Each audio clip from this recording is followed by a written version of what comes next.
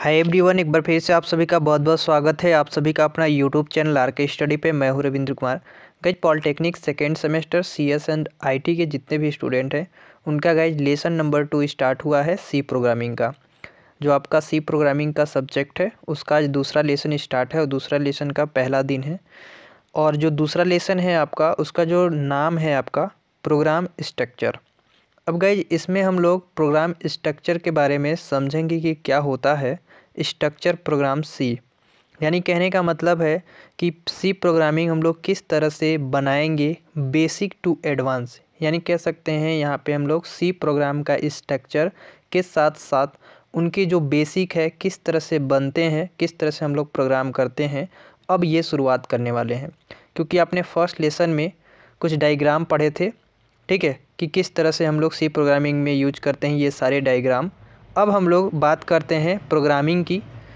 तो lesson number two से start करेंगे, ठीक है? जिसमें हम लोग प्रोग्राम की स्ट्रक्चर को ही, यानी स्ट्रक्चर का कहने का मतलब यहाँ पे उसकी जो ढांचा है, किस तरह से बनेगी, क्या होगा, ये सारी डिस्कस हम लोग इस क्लास में करेंगे। तो वीडियो में लास्ट तक बने रहिएगा।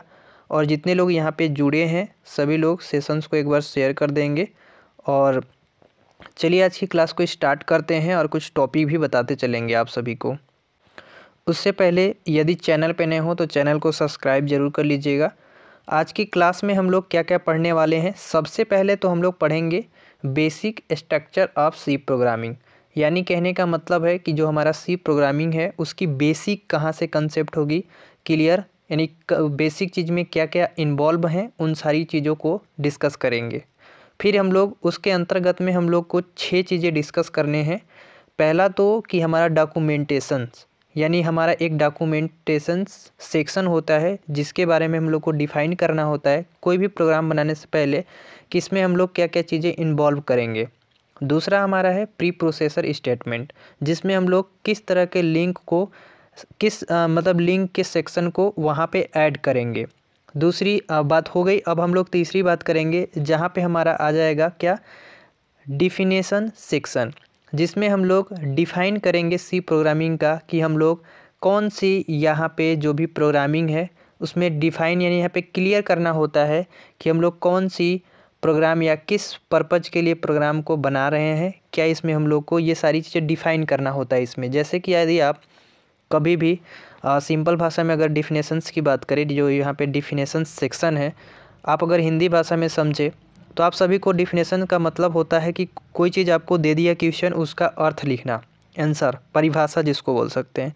तो उसी उसी प्रकार से सी प्रोग्रामिंग में हम लोग इसको परिभाषित करते हैं, जिसको हम लोग यहाँ पे डिफिनेशन सेक्शन के नाम से जानते हैं। चौथा है आपका ग्लोबल डिक्रिएशन सेक्शन अब ये क्या होता है? ये देखिए सी प्रोग्रामिंग में, वैसे तो बेसिकली आगे जो भी प्रोग्राम पढ़ेंगे, उसमें आपके बहुत ही इंपॉर्टेंट है। ग्लोबल। लेकिन अगर अभी की हम बात करें आपका ग्लोबल डिक्रिएशंस की, यानी इसमें डिक्लेयर करना होता है आप सभी को कि जो हमारा प्रोग्राम में जो भी हम लोग वेरिएबल दिए हैं, कोई भी वेरिएबल्स हो सकते हैं, ज़रूरी नहीं है तो हमारे जो वेरिएबल्स होते हैं, फ़ंक्शन के ये वेरिएबल्स ग्लोबल वेरिएबल्स जो होते हैं, वो दोनों जहाँ इन्वॉल्व कर सकते हैं, एक तो अंदर भी, एक बाहर भी। लेकिन एक इसके विपरीत होता है, एक लोकल वेरिएबल होता है, जिसकी एग्जिक्टिंग फिक्स होती है कि ये यहीं पे इंक्लूड होगा। लेकिन ग्लोबल वेरिएबल जो है, वो दोनों जहाँ इंक्लूड होती है, इसकी भी फिक्स है बट ये दोनों जहाँ इन्वॉल्व हो सकता है। तो ये प्रोग्राम में इन्वॉल्व होते हैं।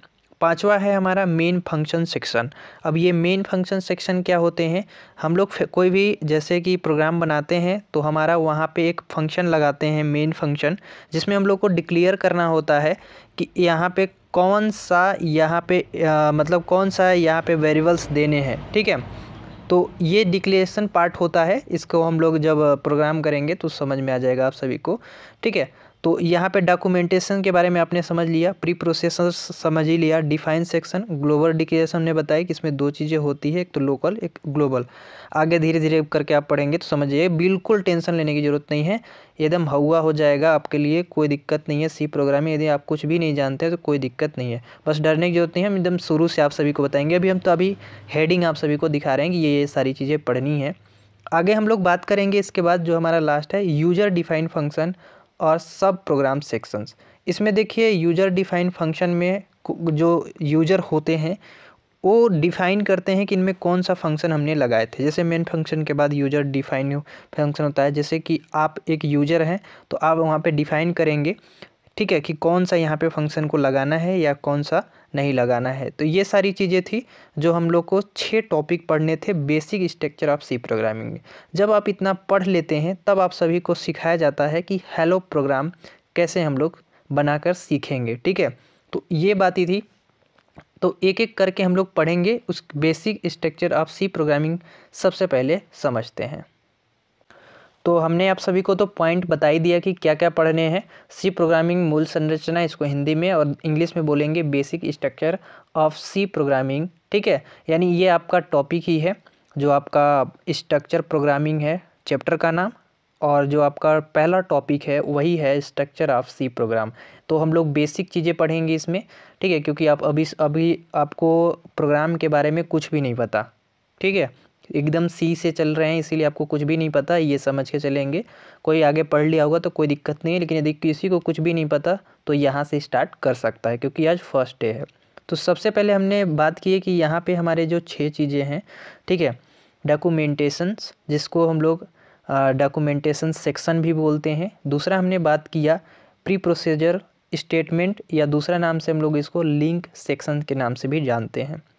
और यहाँ पे तीसरा जो है डिफिनेशन सेक्शन जिसमें हम लोग डिफाइन करेंगे, और ये चौथा है हमारा ग्लोबल डिक्रिएशन सेक्शन ठीक है? तो ये हमारा कुछ पॉइंट है, पाँच छः जो कि एक एक करके हम लोग यहाँ पे डिफाइन करेंगे और समझेंगे कि होते क्या हैं, ये कैसे यूज़ होते हैं बेसिकली यहाँ पे ये basic structure of C programming में दिया क्यों है? तो सबसे पहले हम लोग बात करेंगे किसका? डॉक्यूमेंटेशंस सेक्शंस की। तो चलिए फटाफट से स्टार्ट करते हैं। यदि किसी स्टूडेंट को कुछ भी नहीं समझ में आ रहा है तो बस केवल जो बातें हम बता रहे हैं, उसको सुनते जाएँगे, ठीक है? फिर आप सभी को समझ में आ जाएँगे कि हम क्या बोल रहे थे, क्योंकि ये चीज़ें जब प्रोग्राम में आप सभी को देखते हैं, तब आप सभी को वहाँ पे क्लियर होता है। अभी तो डिफिनेशन टाइप के हैं, इसलिए आप सभी को यहाँ पे केवल गाइड कर रहे हैं कि आपको ये सारी चीज़ें वहाँ पे इन्वॉल्व रहती है तो ये सबसे पहले जानने ज़रूरी होती हैं। तो सबसे पहले हमने बात किया कि डॉक्यूमेंटेशंस सेक्शंस के बारे में बात करेंगे कि बेसिकली होता क्या है। ठीक है? ये चीज़। तो यहाँ पे देख सकते हैं प्रोग्राम को डिस्क्राइब करने के लिए प्रोग्राम डॉक्यूमेंट सेक्शन में कमेंट लिखता है। क्या करता है? जब हम कोई प्रोग्राम को डिस्क्राइब करते हैं, जब हम कोई प्रोग्राम को लिखते हैं डिस्क्राइब करते हैं तो प्रोग्राम डॉक्यूमेंटेशन सेक्शन जो होता है, वो कमेंट को क्या करता है? लिखता है। ठीक है? अब यहाँ पे देखिए कमेंट लाइन जो है या कमेंट जैन जो लिखा रहता है, वो ऑब्जेक्टिव को कमेंट लाइन में लिखते हैं। अब यहाँ पे अगर बात करें हम लोग कम जो कमेंट हमारी होती है कमेंट को कंपाइल जो कंपाइलर होता है इग्नोर कर देता है और उसे स्क्रीन में प्रिंट नहीं करता है। यानी कहने का मतलब है कि जब आप कभी भी सी प्रोग्रामिंग करेंगे, ठीक है तो आपके जो कमेंट होंगे, ठीक है, जो आपके कमेंट होंगे वो आपको क्या करेगा? आपके स्क्रीन पे जो है, शो नहीं करेगा। अब कैसे नहीं करेगा? उसको आपको एग्ज़ाम्पल में भी दिखाएँगे, तब आपको क्लियर हो जाएगा। कमेंट सिर्फ़ उस प्रोग्राम को डिस्क्राइब करते हैं या करने में काम आता है, जो कि प्रोग्राम कमेंट के अंदर उस प्रोग्राम का नाम, ठीक है? अनदर नाम यहाँ बोला गया है, उसके नाम, जो उस प्रोग्राम को बना रहा है और दूसरी जानकारी जैसे प्रोग्राम को डेट उद्देश्य आदि ये सब कुछ डॉक्यूमेंट सेक्शन के अंदर लिखा जाता है। अब यहाँ पे एक बात समझिएगा। यहाँ पे कह रहा है कि प्रोग्राम को डिस्क्राइब करने के लिए प्रोग्राम डॉक्यूमेंट सेक्शन में कमेंट लिखता है और कमेंट को कंपाइलर इग्नोर कर देता है और उसे स्क्रीन पर प्रिंट नहीं करता है। इसका कहने का मतलब है कि जब भी हम लोग कोई भी डॉक्यूमेंटेशन सेक्शंस को लिखते हैं तो उसको जब प्रोग्राम में लिखते हैं तो हैच लगा कर लिखते हैं, ठीक है? जिससे वो कमेंट क्या होता है? जो कमेंट होते हैं, वो कंपाइलर जब करते हैं, यानी जब हम लोग प्रोग्राम को रन करते हैं तब हमारा वो जो कंपाइलर होता है, वो क्या कर देता है? इसको इग्नोर कर देता है और स्क्रीन पे हम लोग को नहीं दिखता। तो कैसे नहीं दिखता? चलिए एग्ज़ाम्पल से समझते हैं। अब एग्ज़ाम्पल से यहाँ पे समझेंगे। सबसे पहले यहाँ पे स्लेस लगाकर स्टार फ़ाइल नेम लिखा है hello dot C another name दिया है, जीतू साहू। आप भी अपना नाम दे सकते हैं। डेट दे दिया गया है और यहाँ पे डिस्क्रिप्शन में लिखा गया है a program to find odd or even number इसके बाद फिर इसको भी स्टार लगा के स्लेस से क्लोज कर दिया गया है। अब यहाँ पे ये ओपनिंग था, ये क्लोज कर दिया गया है। अब ये जो है, ये प्रोग्राम में शो नहीं होगा क्योंकि ये मतलब ये कमेंट में लिखा गया है, ठीक है? ये पहले, यदि प्रोग्राम से पहले लिखा होता, या मतलब प्रोग्राम से, सॉरी, पहले लिखा रहता है, ये बाद में लिखा रहता तो शो हो सकता था। लेकिन यहाँ पे अगर हम लोग बात करें तो ये प्रोग्राम का ऊपर लिखा रहेगा, इसके बाद फिर प्रोग्राम इससे नीचे चालू रहेगा। इसलिए ये कमेंट जो लिखा है, ये शो इसमें नहीं होगा।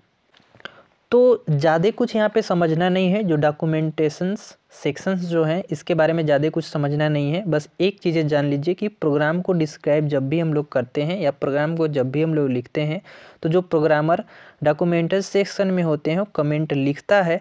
हम लोग लिख सकते हैं। कमेंट लिखने के लिए कोई यहाँ पे रीज़न नहीं है कि नहीं लिख सकते। लिख सकते हैं लेकिन जो हमारा कंपाइलर होता है यानी जब हम लोग रन करते हैं तो कमेंट को इग्नोर कर देता है मतलब शो नहीं कराएगा प्रिंट नहीं करता है। उसके अलावा जो भी हमने लिखे हैं वो प्रिंट करेगा। तो ये बातें यहाँ पर समझेंगे। बाकी बात ये यहाँ ही का, काम नहीं करेगा। आपको आगे भी काम करेगा। याद रखिएगा कि कमेंट कभी भी प्रिंट नहीं करेगा। ठीक है? यहाँ पे कंपाइलर आगे अभी कंपाइलर पढ़ रहे हैं। जब आगे और जाएँगे तो कंपाइलर यहाँ से समाप्त हो जाता है। अगला जो है हमारा, दूसरा हमने बताया थे प्री प्रोसीजरल स्टेटमेंट या बोल सकते हैं इसको लिंक सेक्शन अब देखिए, ये लिंक सेक्शन होता क्या है, इसके बारे में समझिए। लिंक लिंक सेक्शन के अंतर्गत हम अपने प्रोग्राम में उपयोग होने वाले सभी जितने भी हेडर फ़ाइल हैं हेडर फ़ाइल को डिक्लेयर करते हैं। लिंक सेक्शन से हम कंपाइलर को इंट्रक्शन देते हैं कि वो सिस्टम जो हमारे लाइब्रेरीज हैं, उसे उन हेडर फाइल्स को जिसे हमने लिंक सेक्शन में डिक्लेयर किया है, ठीक है? उन लिंक सेक्शन में इन सब हेडर फाइल्स के अलावा बहुत सारे हेडर फाइल्स भी होते हैं, जिन्हें हमें ज़रूरत पड़ने पर अपना प्रोग्राम लिख सकते हैं। अब इसका कहने का मतलब क्या है, समझिएगा कि जो हमारा लिंक सेक्शन होता है, ठीक है? लिंक सेक्शन में सी को आवश्यक लाइब्रेरी फ़ाइल के प्रोग्राम के साथ लिंक किया जाता है, ताकि जो हमारा लाइब्रेरी फ़ंक्शन जो है लाइब्रेरी फ़ंक्शन को प्रोग्राम में फाइल्स में उपस्थित लाइब्रेरी की, जो फ़ंक्शन होगी, लाइब्रेरी फ़ंक्शन को प्रोग्राम में यूज़ कर सकते हैं। और इस सेक्शन के प्री प्रोसीजर जो है, हम लोग इसको किससे प्रयोग करते हैं? हैज़ इंक्लूड से प्रयोग करते हैं। किसका? हैज़ लिखेंगे और इसका यूज़ करेंगे इंक्लूड। ठीक है? तो ये हमारा होता है लिंक सेक्शन के अंदर हमने प्रोग्राम में उपयोग होने वाले सभी हेडर फाइल्स को डिक्लेयर करते हैं। जितने भी हमारे हेडर फाइल्स होते हैं, उनको डिक्लेयर करने के लिए हैज़ इंक्लूड का यूज़ करते हैं। तो ये पहले से डिफाइन रहते हैं तो इसमें ज़्यादा सोचने की ज़रूरत नहीं है। यही हमारा लिंक सेक्शन के अंतर्गत में आता है। तो यहाँ पे एग्ज़ाम्पल में देख भी सकते हैं हैज़ इंक्लूड डॉट यहाँ पे स्टूडियो डॉट एच लगता है, फिर कॉन्यू लगता है स्टिंग लगता है मैथ डॉट एच लगता है। तो ये चार एग्ज़ाम्पल है आपके, लेकिन सबसे पहले हैच इंक्लूड ये सारे डिक्लियर रहते हैं पहले से ही, ठीक है? अगर आप कभी भी सी प्रोग्राम लिखेंगे तो ये पहले से डिक्लियर रहते हैं, इस बात को ध्यान में रखते हुए चलेंगे। ये आगे आपको काम आने वाले हैं जब आप प्रोग्राम करेंगे। आगे हम लोग बात करेंगे तीसरा डिफिनेशन सेक्शन इस सेक्शन में सी लैंग्वेज के हमने जितने भी सिंबॉलिक कंस्टेंट पढ़ते हैं या उपयोग करते हैं, वो सारी चीज़ इसमें इन्वॉल्व होती है। इसमें हम लोग किसी भी डिफिनेशन या किसी भी सेक्शन में इसलिए यूज़ करते हैं क्योंकि हम लोग को जो डिफिनेशन सेक्शंस होते हैं, इसमें हमारे सिंबल्स जो आते हैं, जैसे कि हैज़ डिफाइन और इसमें हम लोग को डिफाइन करने होते हैं अपनी डेटा को कि इसमें हम लोग को जैसे अगर मार्क्स देने हैं किसी को ठीक है? तो इसमें हम लोग को डिफाइन करने की मार्क्स जो है हंड्रेड की है तो हंड्रेड यहाँ पे लिखेंगे। अगर यहाँ पे अगर हम लोग को दूसरी चीज़, जैसे कि टोटल अमाउंट जोड़ने हैं तो टोटल में हम लोग हैश टैग लगाएँगे और यहाँ पे डिफाइन करेंगे कि टोटल मार्क्स कितने की है। फिफ्टी की है या फिर हंड्रेड की है या फाइव हंड्रेड की है। तो ये सारी चीज़ें यूज़ करने के लिए हम लोग डिफिनेशन सेक्शंस का यूज़ करते हैं, जहाँ पे जितने भी हमारे सिम्बोलिक कंस्टेंट आते हैं, उन सभी का यूज़ करते हैं। तो गाइज़ अगला है जो हमारा वो चौथा है, जिसमें हम लोग ग्लोबल डिक्रेशन सेक्शंस के बारे में समझेंगे। अब यहाँ पे ध्यान में रखिएगा, जो ग्लोबल डिक्रेशन सेक्शन है, इसके बारे में हमने बताया अभी, आपको शुरू में ही थोड़ा सा बताया था हिट दिया था, लेकिन सारी चीज़ें नहीं बताई थी। याद रखिएगा कि जब भी हम प्रोग्राम लिखते हैं तो हमारे बीच, एक बीच में फ़ंक्शन आते हैं। तो फ़ंक्शन के हम लोग इसको जो हम लोग वहाँ पे वेरिएबल्स डिक्लेयर करते हैं, उसके बाहर भी लिखते हैं और अंदर भी लिखते हैं। इसीलिए ग्लोबल डिक्रेशन सेक्शन यहाँ पे दिया गया है। देखिए यहाँ पे लिखा गया क्या? कि ग्लोबल डिक्लेरेशन सेक्शंस के अंदर हम ऐसे वेरिएबल्स को डिक्लेयर करते हैं, जिनको हम अपने प्रोग्राम को कहीं भी उपयोग करना चाहते हैं। यानी कहीं भी, यदि अगर हम लोग ग्लोबल डिक्लेरेशंस की बात करें तो इसको हम लोग फ़ंक्शन के अंदर, बाहर, दोनों जहाँ यूज़ करते हैं। तो इसीलिए यहाँ पे लिखा भी गया है कि ग्लोबल डिक्लेरेशन सेक्शंस के अंदर हम ऐसे वेरिएबल्स को डिक्लेयर करते हैं जिनको हम कहीं भी उपयोग कर सकते हैं, बाहर भी और अंदर भी। ऐसे वेरिएबल्स को ही ग्लोबल वेरिएबल्स कहते हैं और इन वेरिएबल्स को हम किसी भी फ़ंक्शन में कहीं पे भी उपयोग कर सकते हैं। जो हमने बताया, वही बात यहाँ पे लिखी है, ध्यान से समझिएगा। अब इसको प्रोग्राम में आपको बताएँगे कि कैसे। ग्लोबल डिक्लेरेशन सेक्शंस में हम ऐसे फ़ंक्शन को भी डिक्लेयर करते हैं जिनको हम अपने प्रोग्राम में कहीं भी उपयोग करना चाहते हैं और ऐसे फ़ंक्शन को ग्लोबल फ़ंक्शन कहते हैं। यानी कहने का मतलब है कि इसको हम लोग अंदर और बाहर दोनों जहाँ यूज़ कर सकते हैं। चलिए अब एग्ज़ाम्पल से आप समझिए। अब ध्यान से इस एग्ज़ाम्पल को देखेंगे सभी लोग और समझेंगे। यहाँ पे इंटीजर टाइप का यहाँ पे वेरिएबल्स दिए गए हैं, जहाँ पे एरिया को डिफाइंड किया गया है और यहाँ पे एक्स द्वारा ये देखिए, यहाँ पे ग्लोबल फ़ंक्शन है, यहाँ पे ग्लोबल वेरिएबल्स है, जहाँ पे इंटीजर टाइप में एन दिया गया है और यहाँ पे हमारा फ़ंक्शन है।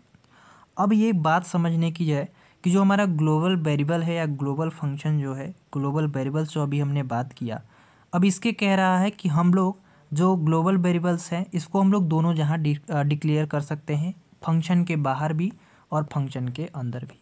तो इस बात को यहाँ पे समझेंगे कि हम लोग जो ग्लोबल वेरिएबल्स है इसको फ़ंक्शन के बाहर यानी हम लोग यहाँ पे भी यूज़ कर सकते हैं और इसको अंदर भी यूज़ कर सकते हैं।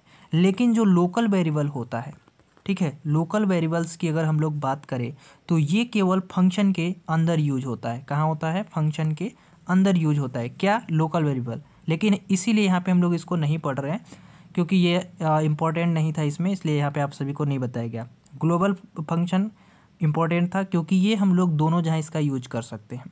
तो ये फ़ंक्शन हो गया हमारा। हमने बताया कि इसको कहीं पे भी यूज़ कर सकते हैं फ़ंक्शन के बाहर और अंदर। तो यही आपका बाहर यूज़ हुआ और यही आपका अंदर यूज़ होगा ठीक है? तो आप समझ गए कि फ़ंक्शन कहाँ पे होता है? यहाँ पे आपका फ़ंक्शन होता है, जहाँ पे मेन लिखा तो ये आपका मेन फ़ंक्शन हो गया।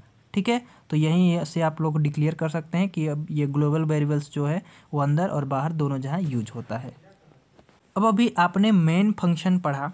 तो मेन फ़ंक्शन के बारे में थोड़ा सा समझते हैं, क्योंकि मेन फ़ंक्शन जो है, वो एक सेक्शन है और उसमें इम्पोर्टेंट भी है। इसलिए सी लैंग्वेज में जब भी हम कोई प्रोग्राम बनाते हैं तो उस प्रोग्राम में एक मेन फ़ंक्शन होता है। अब कहाँ होता है, हमने बताया? उसमें लिखा था ना वाइड मैन लिखा था और ऐसे बना था। हमने बताया कि इस फ़ंक्शन के बाहर भी ग्लोबल होता है डिक्लेयर कर सकते हैं और अंदर भी कर सकते हैं। तो ये जो वाइड मैन फ़ंक्शन जो है, इसी की बात कर रहा है ये। तो ध्यान से समझिएगा कि सी प्रोग्राम में जब भी हम कोई प्रोग्राम बनाते हैं तो उस प्रोग्राम में मेन फ़ंक्शन होता है। मेन फ़ंक्शन यहाँ पे लिखा है मेन फ़ंक्शन होता ही है। इसका कहने का मतलब है कि आप सी प्रोग्राम जब भी बनाएँगे, कोई भी सी प्रोग्राम बनाएँगे तो वो मेन फ़ंक्शन होगा ही होगा। ठीक? तो ये भी बात यहाँ पे रखेंगे याद कि जो वाई जो फ़ंक्शन है मेन फ़ंक्शन जो है, वो हटेगा नहीं। कोई भी प्रोग्राम बनेंगे, इसका यूज़ ज़रूर करेंगे। तो ये भी अपने दिमाग में बैठाते चलेंगे। मेन फ़ंक्शन करली ब्रेकेट से स्टार्ट होता है और करली ब्रेकेट से ही ख़त्म होता है। यानी मेन फ़ंक्शन में हम इन करली ब्रेकेट्स के अंदर ही उपयोग मतलब अंदर ही अपना स्टेटमेंट लिखते हैं। अब कहने का मतलब क्या था, समझिए। अभी आपने एग्ज़ाम्पल में देखा कि जो हमारा मेन फ़ंक्शन होता है, उसमें हम लोग अपना लोकल ग्लोबल वेरिएबल्स जो था, उसको बाहर डिक्लेयर किया हमने, अंदर भी डिक्लेयर कर सकते हैं, दोनों जहाँ ऐसा वो अपनी क्षमता देता है, कि दोनों जहाँ डिक्लेयर अपनी कर सकते हैं। अब जो भी हम लोग को वहाँ पे लिखने होते हैं, कोई भी प्रोग्राम लिखने होते हैं, ठीक है, जो भी स्टेटमेंट हम लोग को लिखने होते हैं, ये इंपॉर्टेंट पॉइंट है, जो भी हम लोग को स्टेटमेंट लिखने होते हैं, वो स्टेटमेंट हम लोग फ़ंक्शन के कहाँ लिखते हैं? अंदर डिक्लेयर करते हैं। जब हम लोग फ़ंक्शन के अंदर डिक्लेयर करेंगे, तब हमारा जो है प्रोग्राम रन करेगा कंपाइलर होगा, तब हम लोग को आउटपुट मिलता है। मेन फ़ंक्शन के अंदर हम जो कोड लिखते हैं, वो दो पार्ट में होते हैं डिक्लेरेशन पार्ट और दूसरा एग्जीक्यूट पार्ट अब यहाँ पे डिक्लेरेशन पार्ट में हम ऐसे वेरिएबल्स को डिक्लेयर करते हैं, जिनका उपयोग हम लोग एग्जीक्यूशन पार्ट में करना होता है। कहने का मतलब है कि जो मेन फ़ंक्शन होता है मेन फ़ंक्शन के अंदर हम लोग कोड लिखते हैं हमने बताया कि मेन फ़ंक्शन जो है, जहाँ से हमारा वाइड मेन स्टार्ट हुआ, उसके अंदर हम अपना स्टेटमेंट लिखेंगे। अब ऐसी स्टेटमेंट यहाँ पे डिक्लेयर करना, दो टाइप की यहाँ पे डिक्लेयर होते हैं। पहला तो डिक्लेरेशन पार्ट और एक थे एग्जीक्यूशन पार्ट अब ये क्या होते हैं कि डिक्लेरेशन पार्ट में हम वेरिएबल्स को डिक्लेयर करते हैं। किसको करते हैं? वेरिएबल्स को डिक्लेयर करते हैं। और जिनका उपयोग हमें एजुकेशन पार्ट में करना होता है। अब इसको कैसे, आइए एग्ज़ाम्पल में समझते हैं। अब ध्यान से देखिएगा पूरी चीज़ें यहाँ पे हटा दी गई है फ़ंक्शन से यहाँ पे लिखा गया है। अब यहाँ पे हमारे एक फ़ंक्शन है। फ़ंक्शन के अंदर में हमने डिक्लेयर्ड किया है इंटीजर टाइप का number N equal to fifty अब इंटीजर टाइप में हम लोग का आता है वन से लेके नाइन्टी नाइन इस टाइप के नंबर जो है वन थ्री फाइव जो भी नंबर होते हैं, ये नंबर हमारा इंटीजर टाइप के आते हैं। तीन चीज़ें होती हैं। हम तीनों के बारे में बताएँगे, लेकिन अभी हम सिर्फ़ आपको बता रहे हैं कि ये इंटीजर इंट इसको शॉर्टकट में लिखते हैं। Integer n equal to fifteen लिया गया है, ठीक है? तो अब ये जो दे, हमारा स्टेटमेंट लिखा रहा है, वो फ़ंक्शन के अंदर लिखा रहा है। तो सबसे पहले कि डिक्लेरेशन पार्ट में हम लोग डिक्लेयर करते हैं कि एन का जो वैल्यू है, वो हमने इंटीजर टाइप का लिया हुआ है, जिसमें कि डिक्लेरेशन पार्ट में आ गया। अब देखिए एग्जीक्यूशन पार्ट में क्या होता है कि इसमें हम लोग को रन कराने होते हैं और देखने होते हैं कि हमारा जो प्रिंट करना है, वो क्या करना है। तो यहाँ पे N equal to percentage D और यहाँ पे हमारा एन का जो वैल्यू है। ठीक है? तो ये हमारा प्रिंट करेगा रिटर्न होगा, इसके बाद यहाँ पे करली विकेट्स आएगा। तो ये होता है हमारा डिक्लेरेशन पार्ट और ये होता है हमारा एजुकेशन पार्ट समझ रहे हैं? कहने का मतलब है कि जब भी आप कभी प्रिंट के अंतर में कोई भी आपका स्टेटमेंट लिखा है प्रिंट लिखा है तो एजुकेशन पार्ट होता है। और कोई भी यहाँ पे नंबर दिया रहता है इंट वाला int n is equal two fifteen कुछ भी इंटीजर फ्लोट टाइप का करेक्टर टाइप का कुछ भी दे सकता है तो उसमें हम लोग होता है डिक्लेशन पार्ट अब एक जो चीज़ें और बता दें, जब हम लोग इंटीजर होता है तो इंटीजर में हमने बताया one two three four five इस तरह के नंबर हम लोग ले सकते हैं, यानी कह सकते हैं वन टू नाइन्टी नाइन ठीक है, हंड्रेड। इस तरह के नंबर जो है, वो हमारा इंटीजर टाइप के वैल्यू में लिखते हैं। दूसरा हमारा आता है, यहाँ पे क्योंकि डिक्लेरेशन पार्ट होता है तो यहाँ पे ज़रूरी नहीं है कि इंटीजर लेंगे। यहाँ पे हम फ्लोट भी ले सकते हैं। ठीक? तो अब फ्लोट में देखिए कौन कौन से आते हैं तो फ्लोट में कैसे नंबर आएँगे? फ्लोट में नंबर आते हैं one point five, three point five, ठीक है? वन सिक्स या वन वन पॉइंट सिक्स यानी कह सकते हैं जो दशमलव वाले जो दशमलव वाले नंबर लिखे रहते हैं, वो हमारा फ्लोट में आते हैं। तीसरा हमारा आता है करेक्टर। इसको सी एच ए आर से लिखते हैं। जब प्रोग्राम में यहाँ पे लिखेंगे तो सी एच ए आर लिखेंगे। इसको जब हम लोग करेक्टर को डिफाइन करते हैं डिक्लेयर करते हैं डिक्लेरेशन पार्ट में तो करेक्टर में हम लोग लेते हैं ए बी सी स्मॉल में ए बी सी इस तरह के ए टू जेड जो भी लेना हो वो हम लोग लेंगे। तो करेक्टर में आपने समझ लिया फ्लोट में समझ लिया इंटीजर तो ये तीन टाइप थे मेन जो आपको अभी सी प्रोग्राम में यूज़ करने हैं। तो आप लोग समझ गए कि डिक्लेरेशन पार्ट और एजुकेशन पार्ट क्या होते हैं। एक बार फिर से बता दे रहे हैं कोई स्टूडेंट यहाँ पे आ, नहीं समझ पाया होगा तो ध्यान में रखिएगा कि जो प्रिंट है इसको हम लोग एजुकेशन पार्ट करते हैं यहाँ पे रन होता है। जो हमने प्रिंट कराना है वो हम लोग यहाँ पे लिखते हैं और ये हमने डिक्लेयर करने होते हैं कि हम लोग को किस टाइप के यहाँ पे डेटा जो है डिक्लेयर कराने हैं। ठीक है? तो इंटीजर है, फ्लोट है या फिर करेक्टर है। किस टाइप के हैं? वो डिक्लेरेशन पार्ट हो जाता है और एजुकेशन पार्ट में हमारा प्रिंट होता है कि हम लोग को क्या प्रिंट कराने हैं। तो भाई, यहाँ पे आपने समझ लिया होगा कि मेन फ़ंक्शन जो मेन फ़ंक्शन सेक्शन होता है बेसिकली इसका यूज़ जो है किस तरह से होता है? मेन फ़ंक्शन के अंतर्गत में हम लोग दो चीज़ें डिक्लेरेशन करते हैं। क्या क्या एक तो आपका डिक्लेरेशन पार्ट और दूसरा हमारा एजुकेशन पार्ट अब डिक्लेरेशन पार्ट में हम लोग इंटीजर फ्लोट और करेक्टर टाइप की चीज़ें ले सकते हैं और एजुकेशन पार्ट में हम लोग प्रिंट करा सकते हैं। तो ये दो चीज़ें याद रखिएगा। अगला जो है हमारा यूज़र डिफाइन फ़ंक्शन है, जिसको हम लोग सब प्रोग्राम सेक्शंस भी बोलते हैं। ये जो है प्रोग्राम का लास्ट होता है, ठीक है? इस सेक्शन के अंदर यूज़र डिफाइन फ़ंक्शन को डिक्लेयर करते हैं। इस ये जो सी प्रोग्रामिंग होता है, अंतिम सेक्शंस होते हैं, ठीक है? जब हम लोग मेन फ़ंक्शन जो होता है, जो हमने मेन फ़ंक्शन पढ़ा अभी जस्ट पाँचवा में मेन फ़ंक्शन की जैसे ही डिफिनेशन समाप्त होती है, उसके बाद यूज़र डिफाइन यानी ये जो हमारा यूज़र डिफाइन फ़ंक्शन होता है या सब प्रोग्राम सब फ़ंक्शन जो होता है, ये लिखी जाती है, ठीक है? और ये अंतिम सेक्शंस होते हैं। जैसे यहाँ पे लिखा गया है इंट फिर यहाँ पे सम में दिया गया है इंट एक्स इंट वाई अब यहाँ पे हम लोग यूज़र डिफाइन में, जैसे कि हम हैं या आप हैं, यहाँ पे डिफाइन करने होते हैं। जैसे कि यदि अगर आपको सम डिफाइन करना है, जोड़ मतलब सम मतलब यहाँ पे आपको जोड़ करना है तो यहाँ पे हम लोग देंगे इंट एक्स इंट वाई तो सम क्या होता है? सम होता है ए प्लस बी तो हम लोग इसको एक्स वाई दिए तो रिटर्न में हमारा क्या आ जाएगा? एक्स प्लस वाई क्योंकि हमने एक्स प्लस वाई दिया था तो यहाँ पे हमारा क्या हो जाएगा? एक्स प्लस वाई हो जाएगा। ठीक है? तो ये चीज़ें जो डिक्लेयर करने होते हैं, ये हमारा यूज़र डिफाइंड फ़ंक्शन के अंतर्गत में आता है। अब अब हम लोग एक सिंपल सी प्रोग्रामिंग को फाइंड आउट करेंगे। एरिया ऑफ़ सर्कल्स अभी जितना आपने छः टॉपिक पढ़ा, या अभी कह सकते हैं सी प्रोग्रामिंग का जो बेसिक चीज़ें कंसेप्ट की, वो सारी चीज़ों का निचोड़ अब एक पेज में देखेंगे। चलिए एक एक करके फिर से समझते हैं। तो सबसे पहले जो डिफाइन किया था, हमने बताया था उसमें कि कमेंट जो लिखा रहेगा, वो कंपाइलर यहाँ पे शो नहीं कराएगा। तो आपका यहाँ पाँच तक जो दिख रहा है, ये आपका कभी भी जब आप प्रोग्राम को रन कराएँगे तो शो नहीं कराएगा। तो ये आपका पहला सेक्शन था। दूसरा सेक्शन में हमने हैच इंक्लूड का बात किया था, जो यहाँ पे लिंक सेक्शंस के नाम से जानते हैं। ठीक है?